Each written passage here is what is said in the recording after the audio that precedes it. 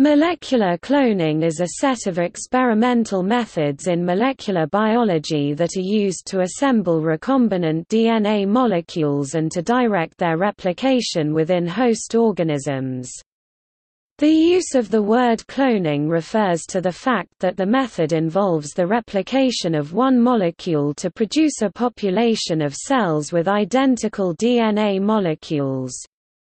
Molecular cloning generally uses DNA sequences from two different organisms, the species that is the source of the DNA to be cloned, and the species that will serve as the living host for replication of the recombinant DNA.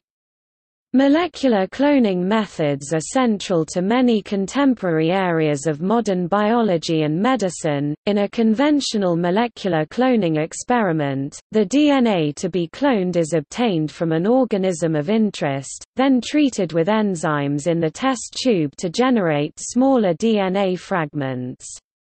Subsequently, these fragments are then combined with vector DNA to generate recombinant DNA molecules. The recombinant DNA is then introduced into a host organism typically an easy-to-grow, benign, laboratory strain of E. coli bacteria. This will generate a population of organisms in which recombinant DNA molecules are replicated along with the host DNA. Because they contain foreign DNA fragments, these are transgenic or genetically modified microorganisms GMO.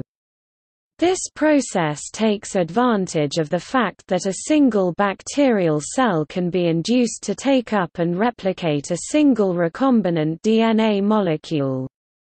This single cell can then be expanded exponentially to generate a large amount of bacteria, each of which contain copies of the original recombinant molecule. Thus, both the resulting bacterial population, and the recombinant DNA molecule, are commonly referred to as clones.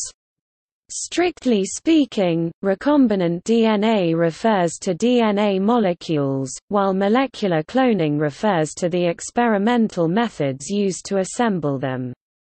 The idea arose that different DNA sequences could be inserted into a plasmid and that these foreign sequences would be carried into bacteria and digested as part of the plasmid. That is, these plasmids could serve as cloning vectors to carry genes.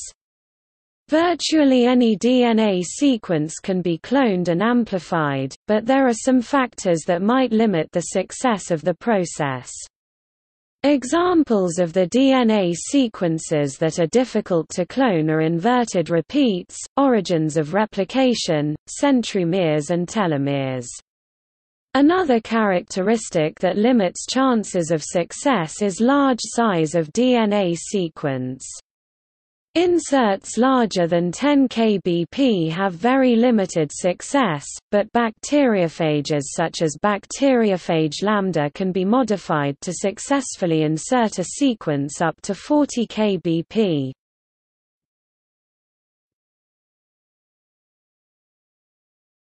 Topic: History Prior to the 1970s, our understanding of genetics and molecular biology was severely hampered by an inability to isolate and study individual genes from complex organisms.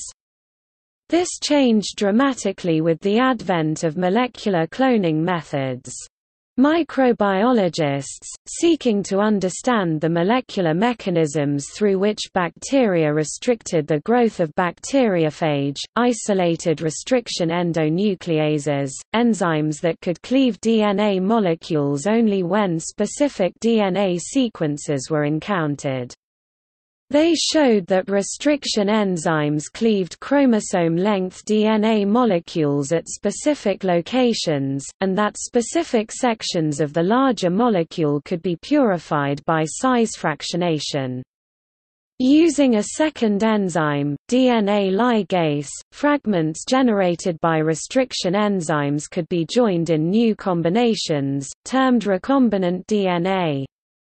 By recombining DNA segments of interest with vector DNA, such as bacteriophage or plasmids, which naturally replicate inside bacteria, large quantities of purified recombinant DNA molecules could be produced in bacterial cultures.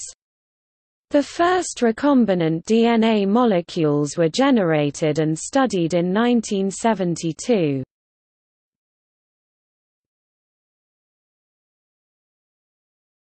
Topic Overview Molecular cloning takes advantage of the fact that the chemical structure of DNA is fundamentally the same in all living organisms. Therefore, if any segment of DNA from any organism is inserted into a DNA segment containing the molecular sequences required for DNA replication, and the resulting recombinant DNA is introduced into the organism from which the replication sequences were obtained, then the foreign DNA will be replicated along with the host cell's DNA in the transgenic organism. Molecular cloning is similar to polymerase chain reaction (PCR) in that it permits the replication of DNA sequence. The fundamental difference between the two methods is that molecular cloning involves replication of the DNA in a living microorganism, while PCR replicates DNA in an in vitro solution, free of living cells.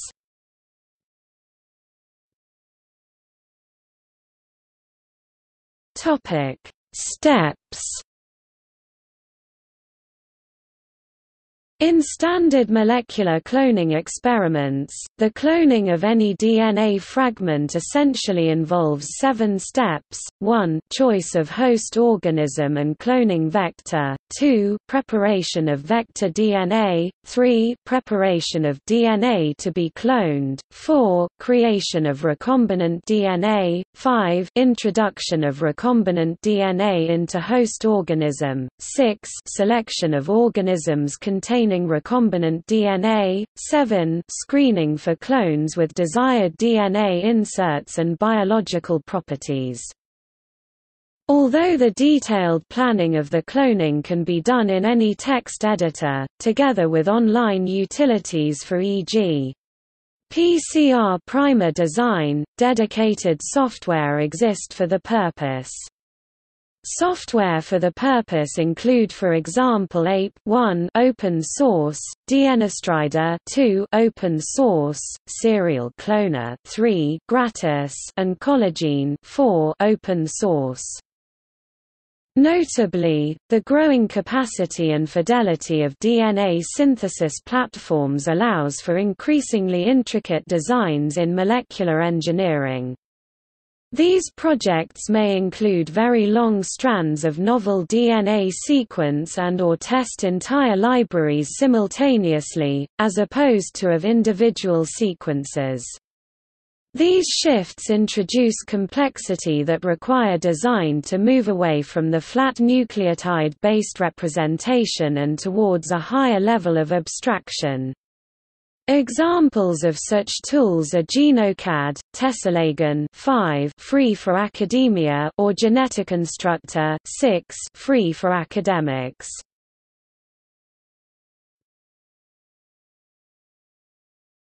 Topic: Choice of host organism and cloning vector.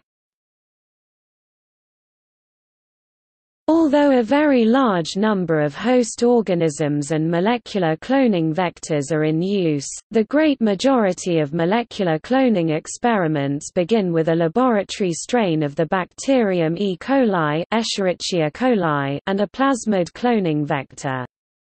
E. coli and plasmid vectors are in common use because they are technically sophisticated, versatile, widely available, and offer rapid growth of recombinant organisms with minimal equipment. If the DNA to be cloned is exceptionally large hundreds of thousands to millions of base pairs, then a bacterial artificial chromosome or yeast artificial chromosome vector is often chosen. Specialized applications may call for specialized host vector systems. For example, if the experimentalists wish to harvest a particular protein from the recombinant organism, then an expression vector is chosen that contains appropriate signals for transcription and translation in the desired host organism. Alternatively, if replication of the DNA in different species is desired for example, transfer of DNA from bacteria to plants, then a multiple host range vector also termed shuttle vector may be selected. In practice, however, specialized molecular cloning experiments usually begin with cloning into a bacterial plasmid, followed by subcloning into a specialized vector. Whatever combination of host and vector are used, the vector almost always contains four DNA segments that are critically important to its function and experimental utility, DNA replication origin is necessary for the vector, and its linked recombinant sequences, to replicate inside the host organism. One or more unique restriction endonuclease recognition sites to serves as sites where foreign DNA may be introduced. A selectable genetic marker gene that can be used to enable the survival of cells that have taken up vector sequences, a tag gene that can be used to screen for cells containing the foreign DNA.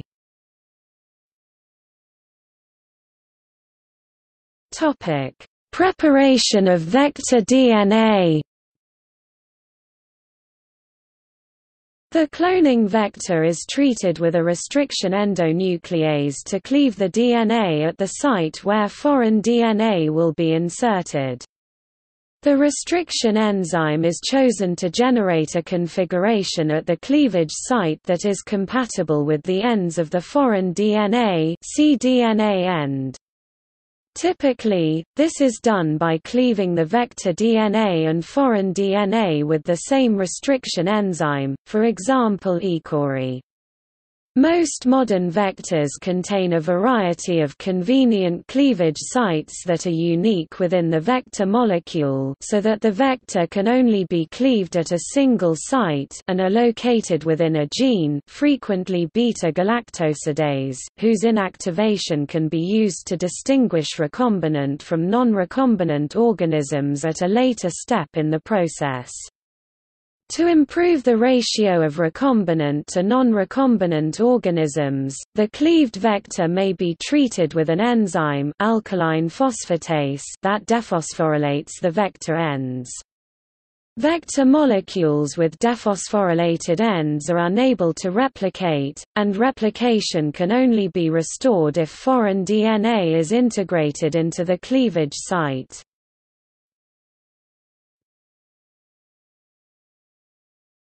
Topic: Preparation of DNA to be cloned. For cloning of genomic DNA, the DNA to be cloned is extracted from the organism of interest. Virtually any tissue source can be used even tissues from extinct animals, as long as the DNA is not extensively degraded.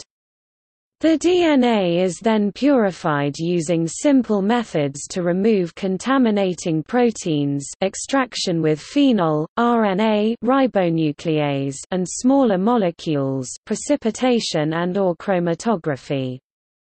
Polymerase chain reaction (PCR) methods are often used for amplification of specific DNA or RNA (RT-PCR) sequences prior to molecular cloning. DNA for cloning experiments may also be obtained from RNA using reverse transcriptase complementary DNA or cDNA cloning, or in the form of synthetic DNA artificial gene synthesis. cDNA cloning is usually used to obtain clones representative of the mRNA population of the cells of interest, while synthetic DNA is used to obtain any precise sequence defined by by the designer. The purified DNA is then treated with a restriction enzyme to generate fragments with ends capable of being linked to those of the vector. If necessary, short double-stranded segments of DNA linkers containing desired restriction sites may be added to create end structures that are compatible with the vector.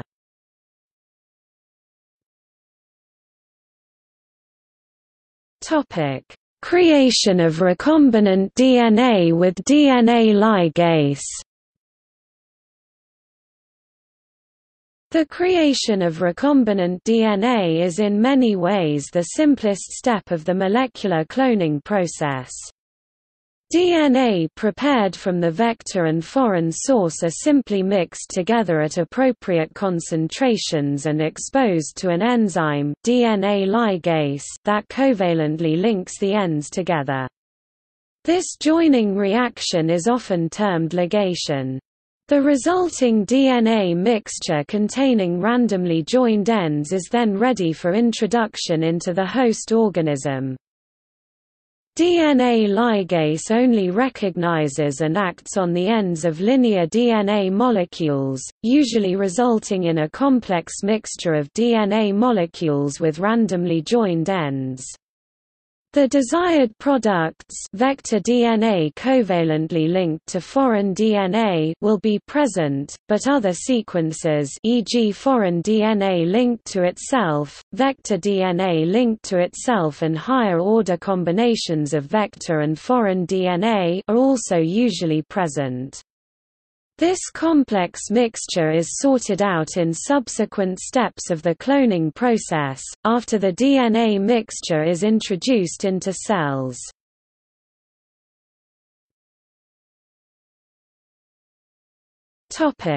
Introduction of recombinant DNA into host organism The DNA mixture, previously manipulated in vitro, is moved back into a living cell, referred to as the host organism. The methods used to get DNA into cells are varied, and the name applied to this step in the molecular cloning process will often depend upon the experimental method that is chosen e.g. transformation, transduction, transfection, electroporation. When microorganisms are able to take up and replicate DNA from their local environment, the process is termed transformation, and cells that are in a physiological state such that they can take up DNA are said to be competent.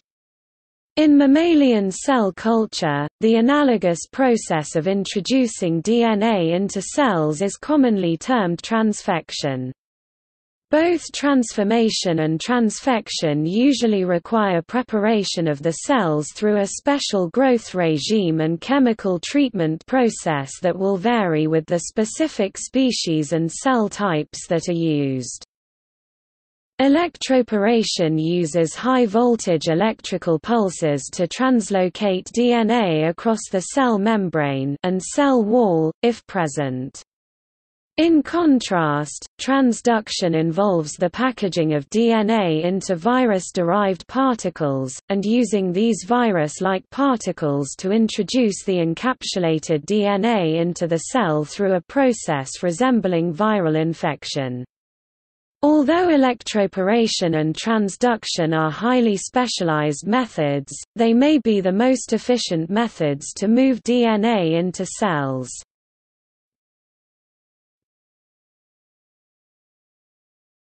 Topic: Selection of organisms containing vector sequences. Whichever method is used, the introduction of recombinant DNA into the chosen host organism is usually a low-efficiency process, that is, only a small fraction of the cells will actually take up DNA. Experimental scientists deal with this issue through a step of artificial genetic selection, in which cells that have not taken up DNA are selectively killed, and only those cells that can actively replicate DNA containing the selectable marker gene encoded by the vector are able to survive. When bacterial cells are used as host organisms, the selectable marker is usually a gene that confers resistance to an antibiotic that would otherwise kill the cells, typically ampicillin. Cells harboring the plasmid will survive when exposed to the antibiotic, while those that have failed to take up plasmid sequences will die. When mammalian cells e.g. human or mouse cells are used, a similar strategy is used, except that the marker gene in this case typically encoded as part of the KANMX cassette confers resistance to the antibiotic geneticin.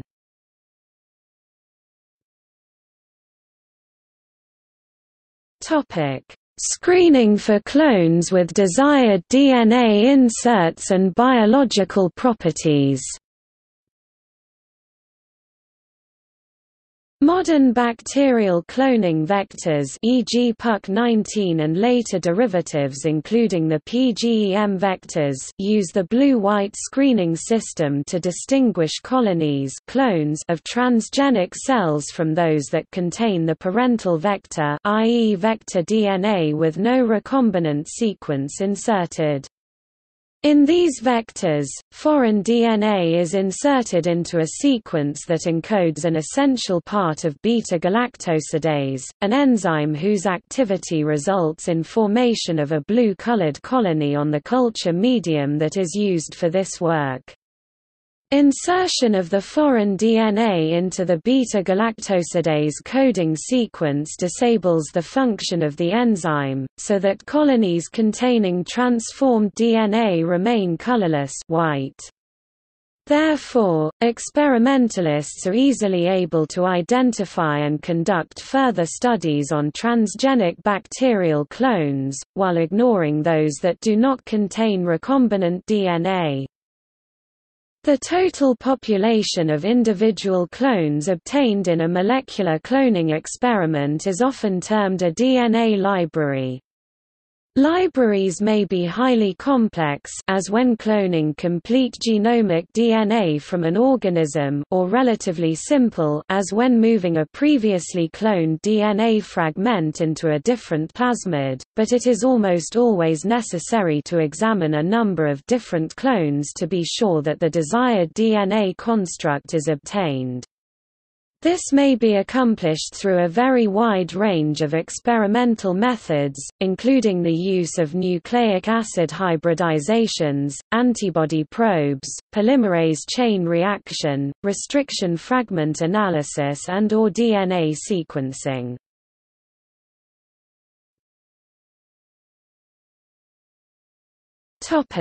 Applications Molecular cloning provides scientists with an essentially unlimited quantity of any individual DNA segments derived from any genome. This material can be used for a wide range of purposes, including those in both basic and applied biological science. A few of the more important applications are summarized here.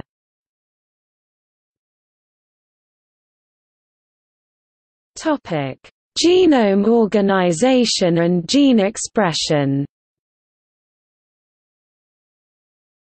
Molecular cloning has led directly to the elucidation of the complete DNA sequence of the genomes of a very large number of species and to an exploration of genetic diversity within individual species, work that has been done mostly by determining the DNA sequence of large numbers of randomly cloned fragments of the genome, and assembling the overlapping sequences. At the level of individual genes, molecular clones are used to generate probes that are used for examining how genes are expressed, and how that expression is related to other processes in biology, including the metabolic environment, extracellular signals, development, learning, senescence and cell death. Cloned genes can also provide tools to examine the biological function and importance of individual genes, by allowing investigators to inactivate the genes, or make more subtle mutations using regional mutagenesis or site-directed mutagenesis. Genes cloned into expression vectors for functional cloning provide a means to screen for genes on the basis of the expressed protein's function.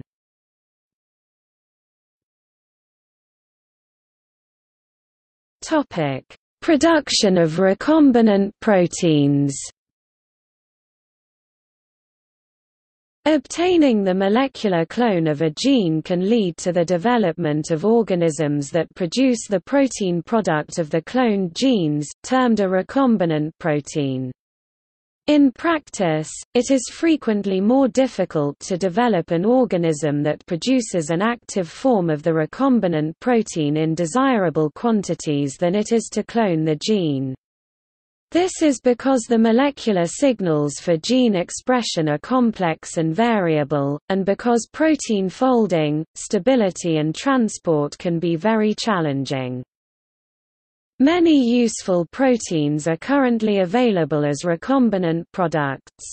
These include 1 medically useful proteins whose administration can correct a defective or poorly expressed gene e.g. recombinant factor VIII, a blood clotting factor deficient in some forms of hemophilia, and recombinant insulin, used to treat some forms of diabetes, 2 proteins that can be administered to assist in a life-threatening emergency e.g. tissue plasminogen activator, used to treat treat strokes, 3 recombinant subunit vaccines, in which a purified protein can be used to immunize patients against infectious diseases, without exposing them to the infectious agent itself e.g. hepatitis B vaccine, and 4 recombinant proteins as standard material for diagnostic laboratory tests.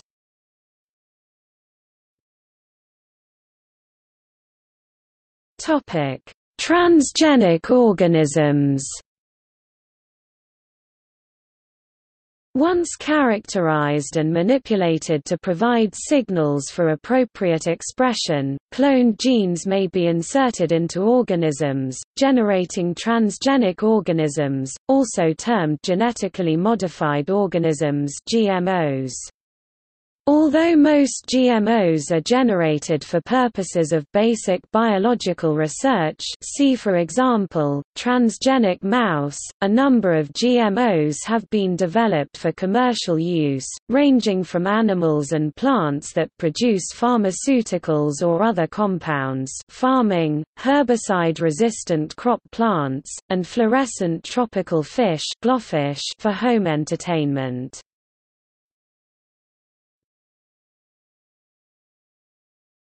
Topic: Gene therapy. Gene therapy involves supplying a functional gene to cells lacking that function, with the aim of correcting a genetic disorder or acquired disease. Gene therapy can be broadly divided into two categories. The first is alteration of germ cells, that is, sperm or eggs, which results in a permanent genetic change for the whole organism and subsequent generations. This germ-line gene therapy is considered by many to be unethical in human beings. The second type of gene therapy, somatic cell gene therapy, is analogous to an organ transplant. In this case, one or more specific tissues are targeted by direct treatment or by removal of the tissue, addition of the therapeutic gene or genes in the laboratory, and return of the treated cells to the patient. Clinical trials of somatic cell gene therapy began in the late 1990s, mostly for the treatment of cancers and blood, liver, and lung disorders. Despite a great deal of publicity and promises, the history of human gene therapy has been characterized by relatively limited success. The effect of introducing a gene into cells often promotes only partial and or transient relief from the symptoms of the disease being treated. Some gene therapy trial patients have suffered adverse consequences of the treatment itself, including deaths. In some cases, the adverse effects result from disruption of essential genes within the patient's genome by insertional inactivation. In others, viral vectors used for gene therapy have been contaminated with infectious virus. Nevertheless, gene therapy is still held to be a promising future area of medicine, and is an area where there is a significant level of research and development activity.